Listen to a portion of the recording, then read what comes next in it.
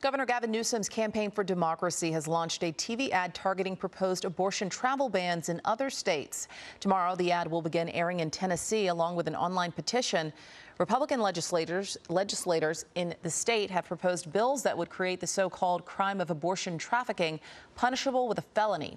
Newsom's campaign plans to launch more ads in other states considering similar travel bans. Those include Oklahoma, Mississippi, and Alabama.